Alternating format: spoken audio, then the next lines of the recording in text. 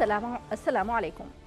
رؤوف حسن هذا هو الاسم الذي عرف اليمنيون به الدكتورة أمة الرؤوف حسن الشرقي الاسم النسائي اليمني الذي برز في مجالات عديدة على المستوى الإعلامي والأكاديمي وعلى مستوى التحديث الاجتماعي الذي كان للفقيدة حضور كبير فيه.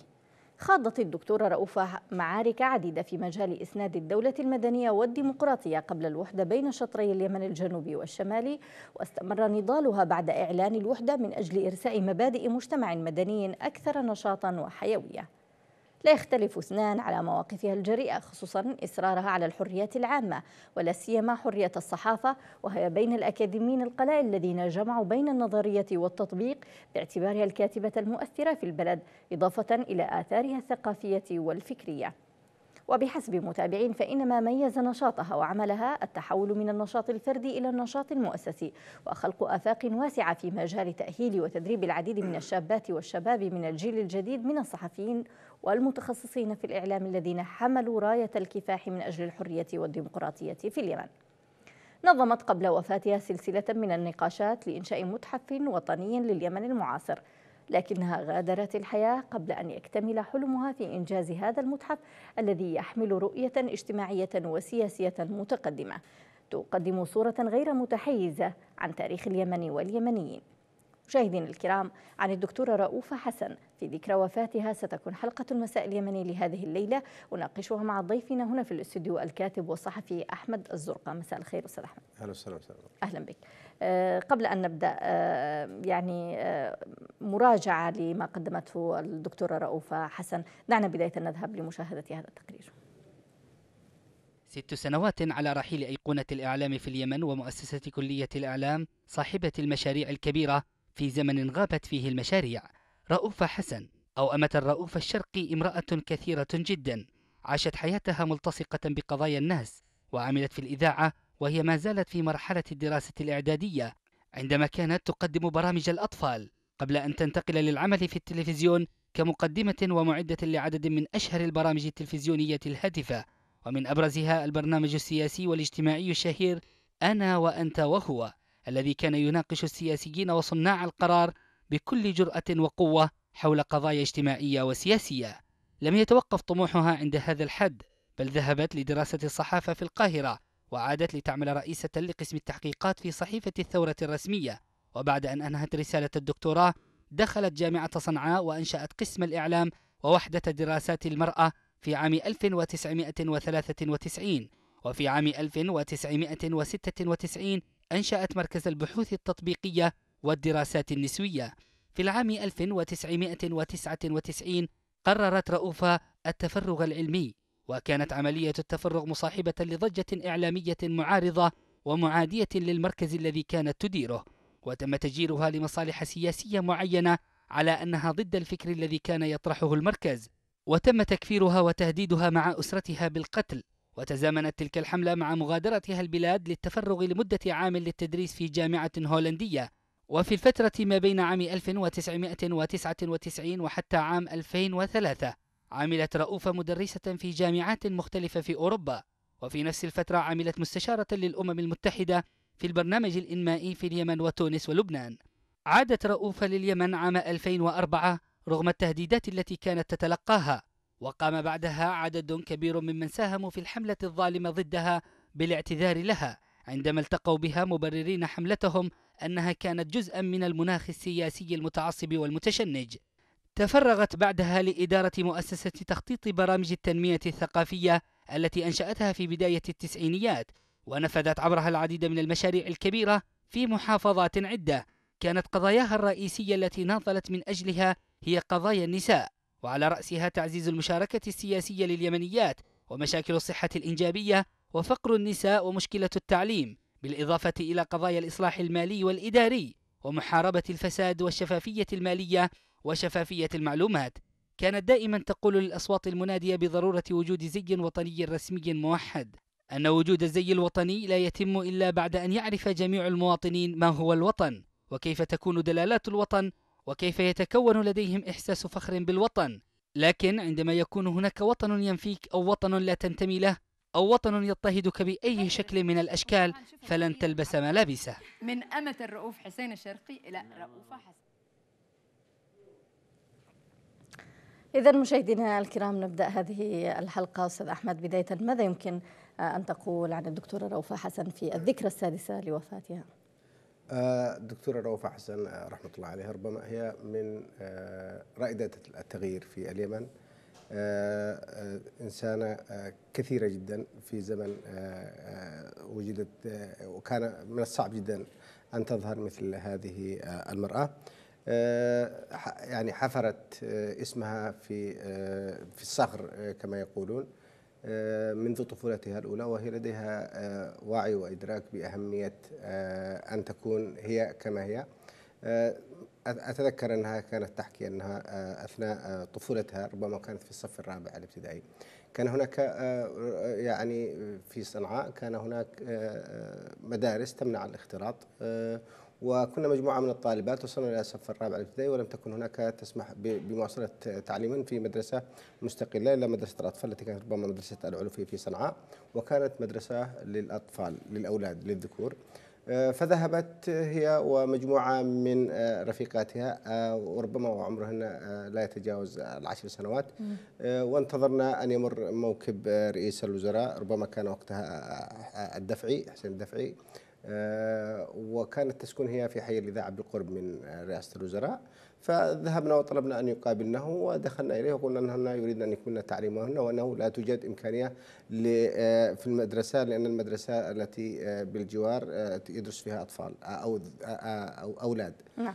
فحصلنا على توجيه وكنا أول طالبات يذهبن للمدرسة مختلطة وبالتالي فتحنا فرصة وآفاق بهذا السن يعني هل يعني كان توجيه من الأهل أم يعني كانت كانت الفكرة؟ مبادرة شخصية منها وكانت حتى في طفولتها. نظرا كانت تذهب إلى إذاعة صنعاء كما تقول وكانت تعمل في الإذاعة أيضا بدون علم أهلها وكانت تشارك في برامج الأطفال وكي لا يعرف عنها.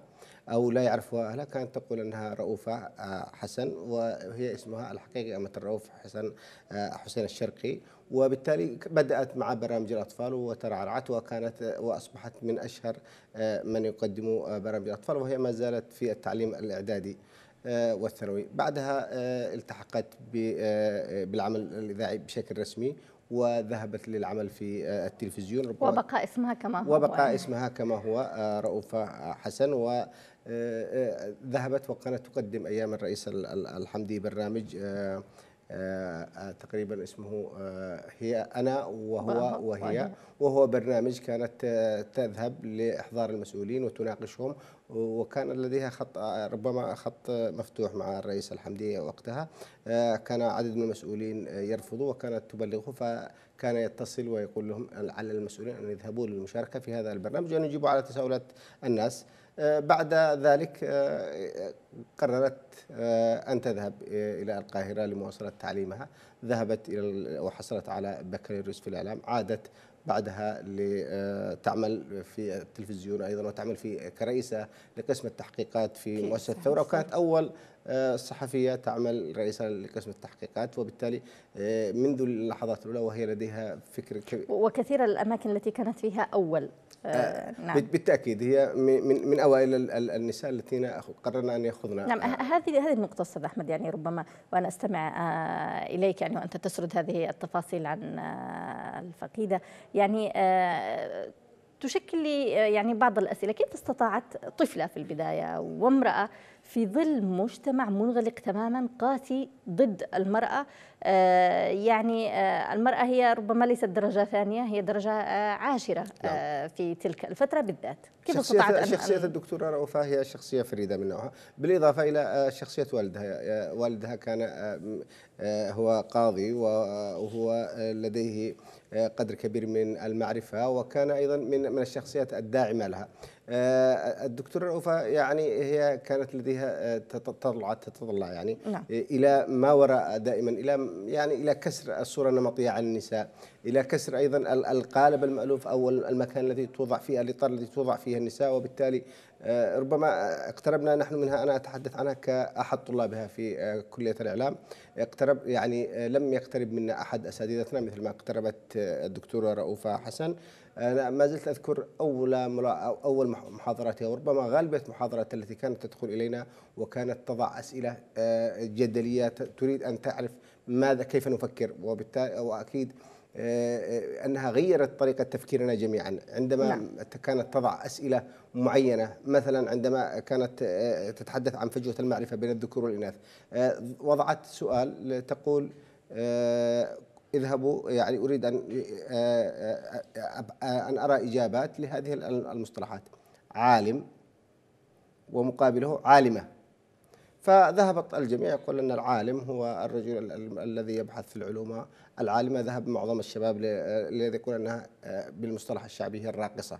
وبالتالي آه هذه النظرة التي آه كانت مرسومة. كانت مرسومة وغيرها من من الأفكار التي كانت تتحدث أيضا عن فجوة المعرفة وضرورية التج... آه، يعني آه أنه أنت تجهل الآخر لأنك بعيد عنه. نعم. اقترب من الآخر كي تعرفه أكثر. أكمل معك أستاذ أحمد ولكن بعد أن تنضم آه، إلينا الدكتورة بلقيس علوان أستاذ مساعد في كلية الإعلام بجامعة صنعاء عبر الهاتف من صنعاء مساء الخير دكتورة بلقيس.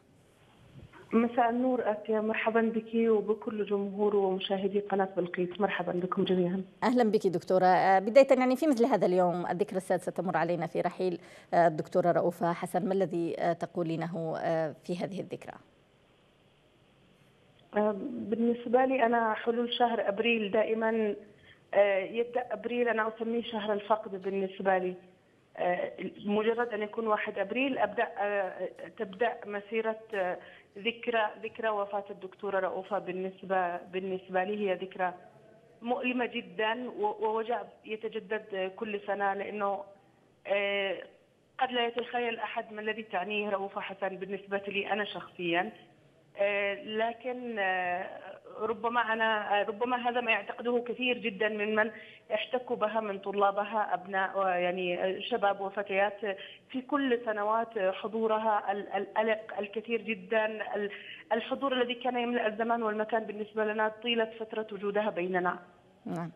إذا دكتورة يعني آه، هل لك أن تتذكري لنا بعض المواقف التي يعني شكلت آه، منعطف آه، أثناء عملها في كلية الإعلام مواقف بارزة بالنسبة لك تأثرتي بها خاصة يعني وربما أنتم يعني كأعضاء هيئة التدريس تكونون أقرب إلى بعضكم من يعني الطلاب أو من الآخر. أنا كنت أعتقد من من الناس المحظوظين جدا بانتمائي للدفعة الأولى في كلية الإعلام في قسم الإعلام ابتداء عندما كان قسم في كلية الآداب. وكانت ترأسه الدكتورة رؤوفة حسن. ما تزال في ذاكرتي تعلق ذكرى يوم امتحان القبول في في الكلية. عندما كنت أسير في طرقات في ممرات الكلية وأنا لا أعرف القاعة التي سيتم فيها آه، سينعقد فيها اختبار القبول. لأصادف الدكتورة رؤوفة حسن لأول مرة في الجامعة وكنت قبلها آه، لي ذكرى سابقة معها. تسألني تقول لي تعرفي فين قاعة ابن الأمير؟ قلت لها أنا أنا أدور عليها كمان. كان الامتحان في قاعة ابن الأمير. وانعقد الامتحان والدكتوره رؤوفه حسن كائن لا يتوقف عن الحركة لا يتوقف عن التفكير لا يتوقف عن إثارة الجدل. دائما هي تنكش كانت في مخيلتنا منذ المحاضرة الأولى وكانت أول محاضرة لنا لها هي في مادة الإعلام والتنمية. بالنسبة لنا فتحت أمامنا آفاق غريبة عجيبة لم تكن تخطر على البال لم تكن يعني أشياء لم نكن نفكر فيها أصلا. المساواة المواطنة الجندر الحقوق الحريات أشياء كثيرة. ربما كنا آه، كل كل واحد مننا يعتقد نفسه أنه دخل كلية الإعلام أو قسم الإعلام هو صحفي أو جاء من بيتهم صحفي لكنها قلبت موازين تفكيرنا بكثير مما أثارته في مخيلتنا بكثير من المواقف التي لا أنساها أبدا والتي ما زلت أحتفظ بتفاصيل ذكريات كثيرة جدا. وكما قلت لك أنا وكثيرا ما قلت هذا الكلام أنه كل منا كان يعتقد أن أنه هو الأثير لدى الدكتورة رؤوفة حسن أو أنه الأقرب إلى قلبها وكلنا كنا كذلك. أنا كنت حتى بعد مواعيد المحاضرات أحتاج أذهب إلى مكتبها وكانت تداوم حتى بعد موعد المحاضرات وهي تحضر وهي تبحث وهي تبحث لنا عن آه، لابد أن يكون هناك مدرسي لغة إنجليزية متمكنين ومحترفين في تدريس اللغة الإنجليزية للطلاب آه، غير الناطقين بهذه اللغة. وكنا من الدفع القليلة جدا التي حتى اللغة الإنجليزية كان مدرسونا يجيئون من الخارج متخصصين في تدريس اللغة حتى مستوى الدراسة حتى مستوى الدكاترة اللي كانوا يأتون من خارج القسم.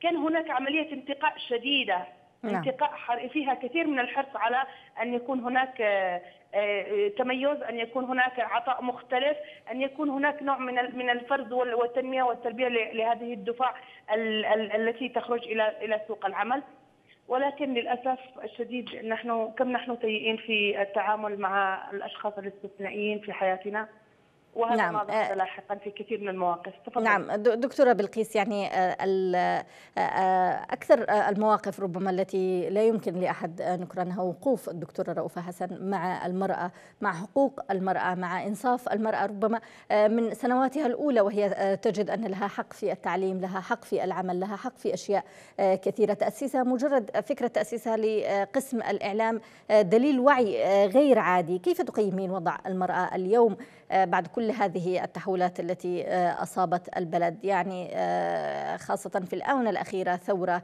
آه، حوار وللأسف انقلاب. هو أعتقد إنه نحن في فترة استثنائية أعتبرها خارج الزمان والمكان. لكن دعيني أركز على الدكتورة رؤوفة حسن والمرأة. آه، عندما نتحدث عن التنمية لا يمكن أن نغفل الدكتوره رؤوفه حسن، عندما نتكلم عن الإعلام لا يمكن أن نغفل رؤوفه حسن، عندما نتحدث عن الحقوق والحريات لا يمكن أن لا يكون اسم رؤوفه حسن موجود. آه، التنمية، الرياده، كل هذه الأشياء لا يمكن إلا أن تكون رؤوفه حسن حاضرة في كل هذه التفاصيل. آه، شخص كان ينظر دائما إلى المستقبل وأفقه إلى الأمام وتسعى لأخذ للأخذ بيد الجميع واولا واولا أيضا النساء. كانت تدعم كثير جدا الفتيات. كانت تدخل معنا في حوارات كثيرة جدا. آه، في القاعة أذكر أنه هناك موقف طريف آه، نتذكره دائما نحن طلاب الدفعة الأولى.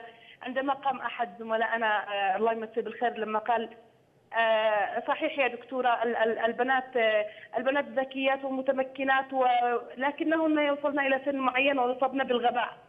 طبعا كانت هذه المقولة مسار ضحك القاعة فاستوقفت هو قال طيب زميلتك فلانة زميلتك فلانة زميلتك فلانة كل هذه الأسماء إذا إذا كان كما قلت أنه أصابهن الغباء عندما وصلنا إلى الرابعه عشره أو الثالثة عشره من عمرهن آه لماذا وصلت هذه الأسماء؟ لماذا زميلتك في كلية الطب آه والهندسة وكل هذه الكليات ألم يصبهن الغباء؟ فهو وقف محرج ساعتها ومرت ما زلنا نتذكر هذا الموقف إلى الآن طبعا امتدت آه، مسيره وعطاء الدكتورة رؤوفة حسن باتجاه النساء تحديدا آه، من خلال تأسيس مركز الدراسات النسوية في جامعة صنعاء الذي. أسسته ورأسته حينها وقدمت الكثير من خلاله ولكنها أيضا كما لاقت كثير من ماذا أقول؟ هل أقول هي المحاربة؟ هل أقول هي أحيانا كثيرة عندما لا نستطيع ان ان أن نلمع أو نتألق مثل أسماء معينة لا نملك إلا أن نحاربهم، هذا ما حدث لها في قسم الإعلام وهذا ما حدث لها في انتخابات نقابة الصحفيين وهذا ما حدث لها في في آه، بعد تأسيس مركز الدراسات النسوية، هي هي شخصية كان يمكن أن تعطي أكثر بكثير لو أتيحت لها الفرصة من فيما لو أتيحت لها الفرصة ولكن كان هناك دائما دائما هجمات منظمة وحرب منظمة ضدها للأسف الشديد نعم. وهذا ما حرم الكثير والكثير منها وحرم حتى مسيرة التنمية في البلد من من عطائها. نعم. آه، لماذا لماذا لم تكن رؤوف حسن؟ لماذا لم تصل إلى منصب في الدولة؟ هل نعم. هل الأسماء التي وصلت إلى مناصب في الدولة كانت أحق منها أو أكثر جدارة أو أكثر كفاءة؟ سؤال يطرح نفسه. نعم. إذا آه، شكرا جزيلا لك دكتورة بلقيس علوان آه، أستاذ مساعد آه، في كلية الإعلام بجامعة صنعاء. كنت معنا عبر الهاتف من صنعاء. ربما أعود إليك أستاذ أحمد بتساؤل الدكتورة بلقيس فعلا لماذا لم تحظى الدكتورة رؤوفة بأي منصب حكومي؟ ولماذا حوربت؟ هل لكونها امرأة أم للأفكار التي تحملها؟ أولا الدكتورة رؤوفة حسن شخصيتها كانت قوية جدا. كانت خارج التأطير لا يمكن أن تؤطر آه، لا كانت مستقلة مستقلة بالمعنى الحقيقي يعني هي لم تؤطر بشكل حزبي بشكل في يوم ما. وكان لها مواقفها الصدامية سواء مع الرئيس السابق الرئيس المخلوع أو حتى عدد الوزراء المسؤولين اللاحقين حتى الدكتور الرياني وغيره كانت تعرف بأنها ردودها قاسية. يعني لا تقبل آه، يعني لم تكسب رضا. لا لم لم لم تكسب رضا أحدا ولكنهم كانوا جميعا يخافون منها كانوا يحترمونها بشكل كبير جدا.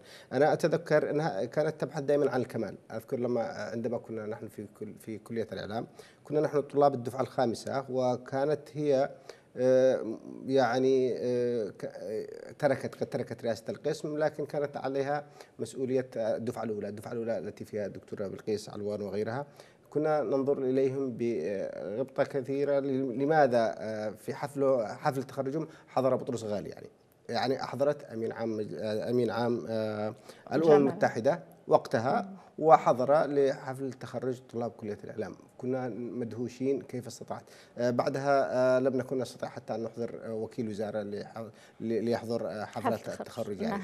نعم. كان هناك فارق كبير جدا. كانت أنا أتذكر عندما كنا نعمل في المؤسسة مؤسسة الدكتورة كنا نذهب نذهب الصباح نذهب ونغادر الغداء ونعود للفترة المسائية وهي ما زالت مكباة فوق كمبيوترها وتقول يعني الساعة السابعة والثامنه اشعر اني نسيت شيئا ما وتتذكر في نهاية المطاف أنها نسيت أن تتناول غداءها. طبعا هي آه، آه، توفيت نتيجة آه، معاناة صعبة يعني ربما كان لديها فقر دم حاد لم تكن تهتم بنفسها أو بغذائها. كانت تعمل إذا إذا مسكت مشروع أو بدأت في كتابة بحث لا تتركه حتى تنتهي منه. آه، أنا أتذكر آه، عندما بدأت في مشروع آه، رداء الدولة وهذا المشروع الذي أخذ منها جهد طويل وكبير جدا آه، أنها كانت تسهر لأيام طويلة لأشهر ذهبت إلى جميع المسؤولين. آه، ذهبت إلى آه، أتذكر أنها أحرجت عبد الله بن حسين الأحمر وطلبت منه أن يدعم هذا المشروع لأنها لم لم يكن هناك أي تمويل. الحكومة رفضت وذهبت إليه وأخذت منه مليون ريال لدعم هذا المشروع. وذهبت إلى الدكتور عبد الكريم الرياني وقالت له عبد الله بن حسين الأحمر يعني دفع مليون. أنت ما بتدفعوش المؤتمر بتكون أقل منه فدفع مليون. وكانت بهذه الطريقة كانت تحفز الآخرين على أنهم آه، ينضموا لمشاريعها. في عز النفس الذي كان يتحدث الجميع عن آه، يعني النفس المناطقي الذي بدأ عززه المخلوع كانت ذهبت إلى المكلا وأقامت معرضا من أنجح المعارض ذهبت إلى عدن ونظمت معرضا لرداء الدولة وذهبت جمعت فيه حتى آه، كل مقتنيات الرؤساء السابقين سواء في الجنوب أو في الشمال آه، جمعت العملات جمع يعني أنجزت متحفا قياسيا في وقت قياسي واستطاعت أن تذهب إلى ما زال حيا آه، آه، رئيس الوزراء عبد القادر باجمال حينها واطلع على المشروع ورأى كم المشروع كبير جدا آه، فوافق على منحها يعني مقرا للمتحف اليمن المعاصر. وكان في التحرير وفي 2011 عندما جاء يعني أنصار صالح احتلوه وأخذوه وصادروه من المؤسسة وتعرض أيضا يعني عدد كبير من مقتنياتها للأسف للأسف مشروع الدكتورة رؤوفه حسن قضى عليه يعني أقاربها أيضا ومن هم حولها آه، لم يكملوا مشروعها وحولوا الدكتورة رؤوفة إلى ملكية شخصية وهي ملكية عامة وهي أيضا يعني من عملت من أجل اليمنيين جميعا ولم تكن تتعامل يوما بنفس عنصري أو مناطقي بل كان لديها فك يعني كانت آه، آه، عندما تذهب إليها ولديك أي مشكلة أو أنت مصاب بأي حالة إحباط تخرج وأنت آه، منتشي منتشي ولديك ألف فكرة وفكرة. كانت عبارة عن صندوق أفكار متجددة آه، تبعث في الناس الأمل والروح وكان آه، لديها أفكار كبيرة جدا. لا يمكن يعني كانت من الشخصيات التي مكتبها مفتوح للجميع. لم تقفل المؤسسة في باب أحد. كانت لديها يومي الاثنين والخميس مفتوحة للجميع. آه، كانت لم لم تكن آه، يعني تتوقف أو يعني من من جاء طلب منها خدمة أو مساعدة أو توصية أو ذهاب إلى مكان ما كانت تذهب معه. وبالتالي لم أنا أنا أشعر أنني خسرت في 2011 بوفاتها. أما وصديقة وأستاذة كنت أتعلم منها ومثلي الآلاف كانوا يعني يتعلمون منها. شخصية كانت محط احترام الجميع رغم المحطات التي تعذبت فيها التي عورضت فيها التي يعني وصل الوضع إلى نعم، تكفيرها نعم نعود لهذه النقاط يعني بصورة أوسع أستاذ أحمد ولكن بعد الذهاب لهذا الفاصل القصير.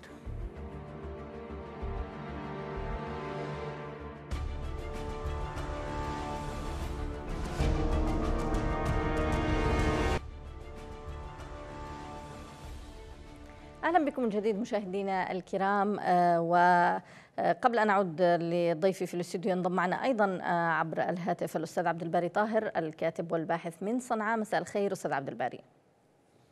النور. أهلا وسهلا. أهلا بك آه، أستاذ عبد الباري. يعني بمرور الذكرى السادسة لرحيل الدكتوره رؤوفه حسن أود أن أسمع منك ما هي أبرز إضافات الدكتورة يعني في الحياة المدنية في اليمن من وجهة نظرك؟ آه، طبعا هذه الإنسانة العصامية العظيمة اختطت طريقها آه، في غاية في بيئة غاية القسوة غاية التخلف.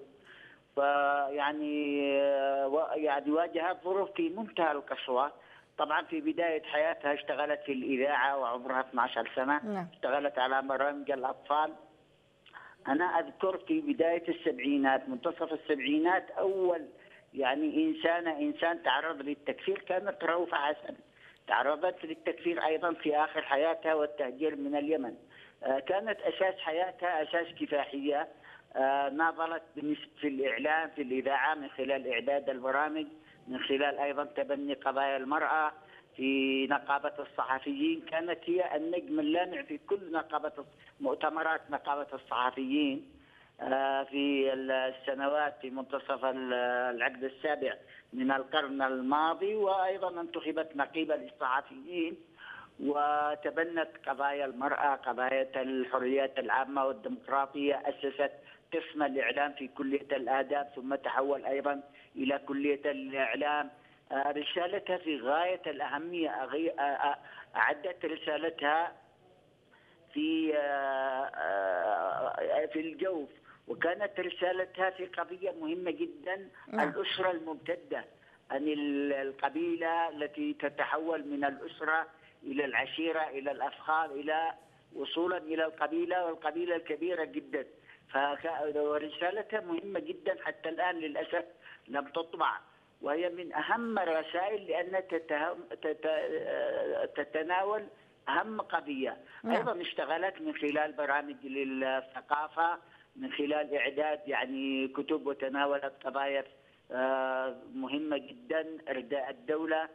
وكانت هذه المرأة في كل مراحل حياتها في كل الظروف الصعبة تواجه تحديات خطيرة جدا في مسألة المساواة قضية المرأة المساواة بين المرأة والرجل في الحقوق تعرضت للتكفير. يعني أسست مركز تعرض أيضا هو الآخر للإغلاق. وكانت طبعا دائما في حياتها معرضة لل للتكفير للتخوين لحملات آه، غاية في البشاعة والقسوة نعم. ومع ذلك اختطت طريقها وقدمت الشيء الكثير للأسف الشديد الذاكرة اليمنية معطوبة ولا مثل هذه المجددة صحيح. مثل هذه المناضلة العظيمة لازم يهتم بإرثها وتراثها وهو تراث مجيد وكبير فلازم ينقب أن كل مآثرها وأن يكون في اهتمام وتحية لكم أنتم في بلقيس تهتمون بهذه الشخصيات العظيمة نعم. وإنسانة مثل رؤوفة حسن الذي طبعا اضطرت أن تغير اسمها نتيجة للبيئة التي تنتمي إليها والأسرة نعم. المحافظة الآتية منها. وكانت يعني ضحت وفي اليمن دائما في نموذجين من البشر. ناس يعطون كل شيء لا يدعون شيء ولا يأخذون شيء. وناس لا يعملون شيء يدعون كل شيء صحيح. ويأخذون كل شيء. آه، رؤوفة حسن إنسانة فادية عظيمة. وتلاميذها وأثرها عميق جدا في الحياة الثقافية والفكرية والاهتمام بها مسؤولية كل إنسان يمني لأن هذه الإنسانة كان لها منا وفضل على النضال اليمني وعلى التطور وعلى الحداثة. وعلى حقوق الإنسان والحريات العامة والديمقراطية. نعم آه، أستاذ عبد الباري يعني آه، اختطت كما قلت الدكتورة رؤوفة آه، خط صعب في مواجهه يعني مجتمع قاسي نحو المرأة وربما استطاعت أن تكسر العديد من الحواجز وتصنع مستقبل يعني جيد للفتيات وأيضا ليس فقط للفتيات وإنما للشباب بشكل عام بافتتاح قسم الإعلام ومتابعة آه، كل هذه الأمور. آه، الآن آه، ما هو وضع حرية المرأة ومشاركتها السياسية برأيك؟ يعني هل انتكس ربما ما كنا يعني نفرح به من تقدم ولو طفيف خاصة بعد الانقلاب بعد يعني ما حدث بعد المضايقات التي تحدث للمرأة بعد أي إشكالية لابد أن ربما يعني تهاجم فيها المرأة. لا الآن يعني الحالة القائمة في اليمن استلمت استلبت حقوق الرجل والمرأة استلبت استلبت حقوق الجميع. نحن أي في مرحلة يعني رؤوفة في ريادتها للعمل في الجامعة في نقابة الصحفيين في الحياة العامة كنا نحس أن في خلل في الحياة وأن نعمل مع رؤوفة مع أمثالها وعلى أساس إصلاح الخلل القائم. لكن هذا الخلل القائم أصبح خلل شامل دمر كل شيء في البلد. الآن بلد تتحارب بلد محاصرة بلد تتعرض للمجاعة بلد يعني بالفعل الصحفيين 18 صحفي معتقلين ومخفيين وصحفي محكوم بالإعدام. نحن أمام حالة شائنة جدا. يعني إذا ما قيست نعم. بالفترة الزمنية التي كانت فيها رؤوفه مرور يعني فارق مرعب. فطبعا نحن الآن نعيش حالة في منتهى البؤس يعني حرب ومجاعة وحصار ومصادرة وحرمان الحقوق وإتيان على كل شيء. نحن نتعرض لكارثة كبيرة جدا بلد تتفكك تتمزق المشردين بالملايين القتلى عشرات الآلاف المعاقين عشرات ومئات آلاف. فوضع يعني سيء آه، للغاية نعم. مأساوي بكل المقاييس. نعم. إذا شكرا جزيلا لك أستاذ عبد الباري طاهر الكاتب والباحث كنت معنا عبر الهاتف من صنعاء. عودة إليك آه، أستاذ أحمد. يعني آه، الجميع يركز على موضوع الهجوم الذي كانت تتلقاه دكتورة رؤوفة حسن. أود أن أسمع منكم ملابسات الهجمة الشرسة التي حدثت لها والتي تعرضت لها والتكفير أيضا الذي اتهمت به. ربما لا أحد يريد سماع أن يكون في قائمة من اتهموا بهذه القضية لأن قضية آه، استخدمت سياسيا وتم الاعتذار عنها باعتبارها آه، كانت لتغطية حدث ما. آه، دكتور رؤوف حسن هجمت لأنها استضافت أو كانت استضافت ندوة في المركز الدراسة النسوية وتم اتهامها بأنها أدخلت مصطلحات تم ترجمتها بشكل خاطئ و. وبالتالي كان هناك في عام هي تزامنت الحملة مع الانتخابات الرئاسية التي تمت في عام 1999 هل هو هذا الحدث الذي هذا هو الحدث الذي كان هناك يعني لمحاولة التغطية على مواقف الأطراف المختلفة. كان آه، الإصلاح وقد عين آه، أو اختار علي عبد الله صالح مرشحا له. وبعدها ربما كان هناك جزء من الممانعة من عدد من أعضائه. فتم تغطية الموضوع في تزامنت حملة تكفير الدكتور رؤوف وخروجها من اليمن مع حملة الانتخابات وبعدين آه، عادت في 2003 ربما آه، بعد تعهد من جميع الأطراف بأن لا يتم المساس بها. جاء إليها عدد من الذين قادوا حملة التكفير واعتذروا وهي أعدت آه، ولدي شخصيا نسخة. هل أعلن هذا الاعتذار كما أعلن التكفير؟ أم يعني لا تضاربوا بالحارة وتصالحوا للأسف للأسف يعني كمثل كثير من الحالات التي يتم فيها التشهير بأشخاص ومن ثم يعني هي عادة لم تكن تريد هي كانت تريد العودة لأنها ربما ملت من سنوات أربع أو خمس سنوات خارج اليمن بشكل بشكل لديها فكر معين لديها يعني. نعم. آه، لكن هي للأمانة لم آه، لم تحمل شيئا في نفسها عادت وفتحت مكتبها للجميع وقلبها للجميع. وربما كانت من هي خير رسول لليمن. أنا أذكر أنه كانت مشرفة كانت أستاذ كرسي في عدد من الجامعات الألمانية وفي أيضا هولندا. أمريكا وفي هولندا وفي تونس وأسست مركز الدراسات النسوية في في تونس. وربما هناك عشرة كانت تشرف على عشرة رسائل سنويا في الجامعات الأمريكية والألمانية. كانت تتميز لديها أكثر من لغة صحيح؟ الدكتورة روفا كانت تتميز بأنها قابلة للتعلم حتى في أصعب اللحظات. كان لديها أربع لغات كانت تتكلم الألمانية والإنجليزية والفرنسية بالإضافة إلى اللغة يبدو أنها أيضا بطلاقة حتى تدرس بها يعني. لا, نعم. يصل الإنسان تدريس هي كانت تشرف على رسائل بتلك يعني اللغات. أيضا هي استطاعت أنها تفتح آفاق لمشروع مشترك بين الجامعات الألمانية والجامعات اليمنية. كان لديها حضور كبير. أنا أتذكر أينما ذهبت الدكتور رؤوفة كانت تحصل تحظى على إجماع. أذكر في المؤتمر العام الخامس لنقابة الصحفيين عندما أجبرناها نحن الشباب على أن تترشح نظرا لأنه كان هناك اتجاه لأن يكون ياسين المسعودي مرشحا وحيدا وهي كانت في أمريكا تدرس. وللأمانة نحن ورطناها وضغطنا عليها وعادت وترشحت. وتم يعني الجميع كولس ضدها. الأحزاب اللقاء المشترك المؤتمر الشعبي العام وغيرها من الأطراف يعني لأنها رؤوفه حسن. فقط. لأنها رؤوفه حسن وهم يدركوا ماذا أنت تشكل يعني. أنت أن أن أنت ان, أن تكون نقيب الصحفيين هي رؤوفه حسن. وعندما ذهب ياسين قالت لهم إذا كان أذكر هذه المقولة أنه إذا تم اختيار ياسين نقيبا للصحفيين فاقرأوا ياسين على النقابة وفعلا قرأنا ياسين على النقابة يعني. وما آه للاسف آه كانت الدكتورة رؤوفة أيضا آه من الشخصيات التي آه آه يعني تستطيع أن توجد آه أفكار متجددة بشكل وتستطيع أن تخلق تمويل لأي مشروع نعم. ايا كان لأنها لديها مصداقية كبيرة جدا. عندما كانت تتحدث مع آه أي جهات ممولة أو منحه كانت تستطيع أن تحصل على على إقناعهم. أيضا آه أنا أذكر أنها كانت آه يعني آه، لديها الكثير من المشاريع كيف استطعت أن تعمل في مثلا موضوع الموازنة العامة الموازنة العامة للدولة ومكافحة الفساد والشفافية وكيف استطاعت أنها آه، تقنع وزارة المالية بأن تضع كل بيانات الموازنة العامة على مواقعها في الإنترنت وبالتالي نعم. أصبحت جزء من الشفافية بعد أن كانت هذه المسألة تأخذ يعني آه، سنوات طويلة لكي تحصل على معلومات عن الموازنة العامة للدولة. نعم. أستاذ أحمد تنضم آه، إلينا في حوارنا هذا أيضا الأستاذة بلقيس اللهبي الناشطة في المجتمع المدني عبر الهاتف من عمان. مساء الخير أستاذة بلقيس. مساء الخير كيف الحال؟ أهلا بك أستاذة بلقيس آه، نرحب بك معنا في هذه الحلقة التي نتحدث فيها عن آه، امرأة قوية بهذا الشكل استطاعت أن تخيف العديد من آه، الرجال في فترة يعني ليست يعني خاصة بالمرأة هي فترة رجولية بحتة ما الذي شكلته رؤوفة من إلهام للحركة النسائية أستاذة بلقيس؟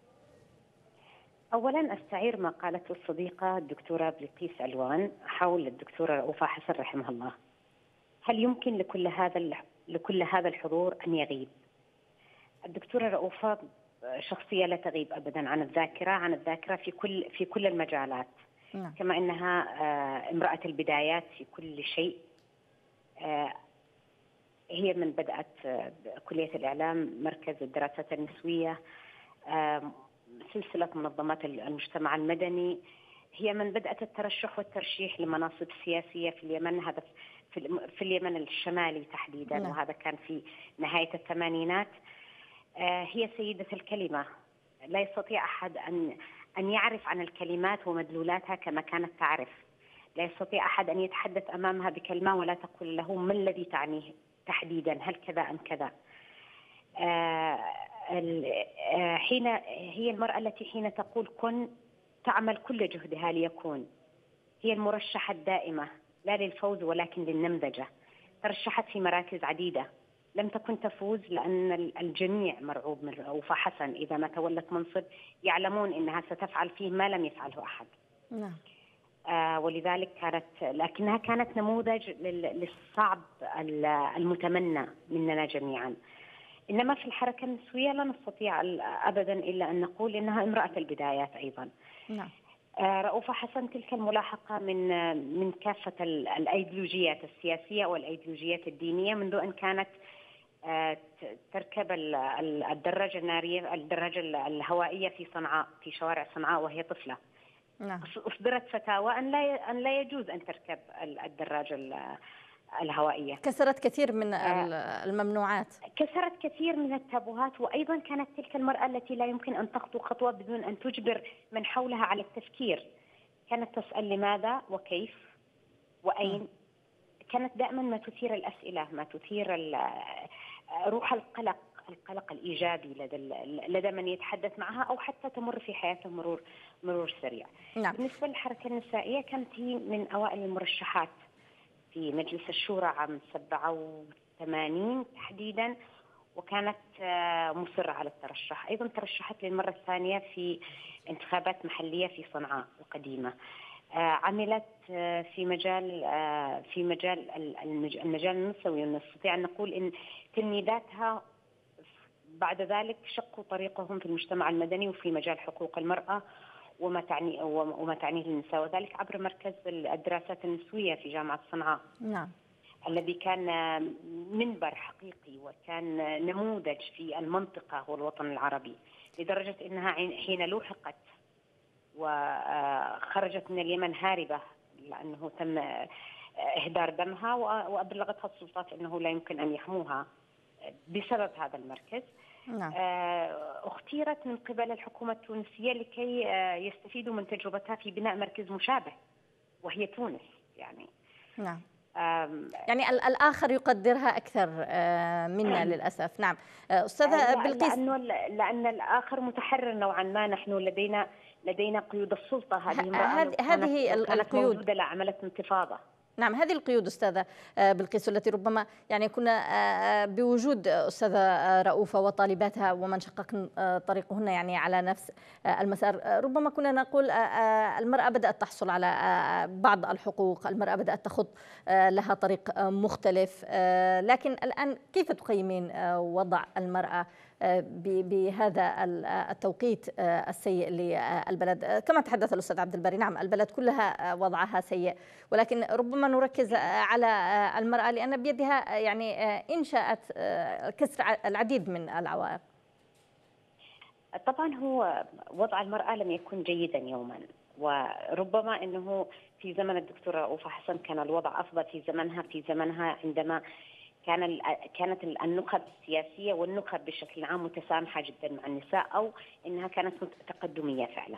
نعم. أتذكر تماما إنه تقريبا في عام 2010 إنها التقت بي ونصحتني أن لا أكتب، لا تكتبي يا بلقيس لأنه كان في هناك استهداف لي من بعض الجماعات الدينية بمقالات، قالت لي لا تكتبي ولا تنشطي في هذه الفترة سيجعلونك كبش فداء، هذه الدكتورة رؤوفة حسن كانت من من من نستطيع أن نقول إنها كانت كاسحة ألغام أصبحت تحذر لأنها عاشت عاشت معنا أن, نعم. أن تنفى القلق والخوف وأن تنفى من مجتمعك ومن بلادك لأنك آه، رسول تغيير.